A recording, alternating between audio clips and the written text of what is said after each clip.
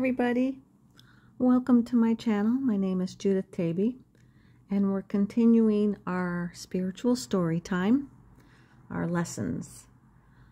If you're new, please be sure to click on the video link at the end to take you to the first video, which has the intro and story as to why we're doing this series. Remember to click the like button and subscribe if you haven't already. I truly appreciate that. It helps my channel.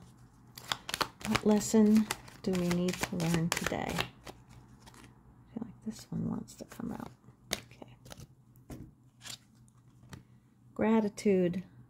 I am thankful for this life and the opportunities that it presents.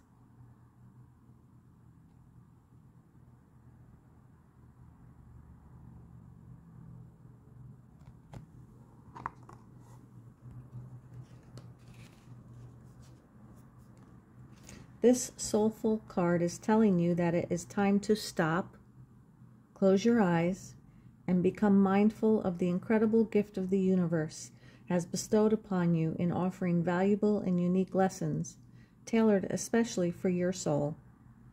This is an important reminder to mind oh, I I'm tongue-tied today, huh? This is an important reminder to express your appreciation for what has been what will be, and most important, who you are. It is time to acknowledge to the universe how thankful you are for being provided these opportunities for insight and understanding. It is also time for your soul to share recognition of all those loved ones in your life. Upon the earth or in spirit, who have helped form who you are now. You may even find it helpful to begin to write a list of all the things you are grateful for in your life.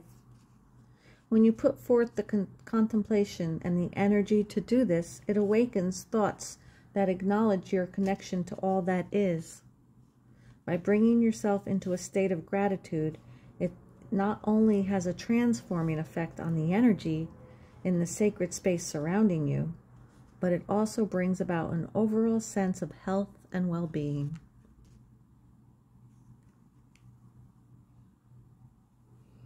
Always take those moments to be in a state of gratitude for the little things, not just the big things. Looking forward to connecting with you tomorrow. Love and light, viewers.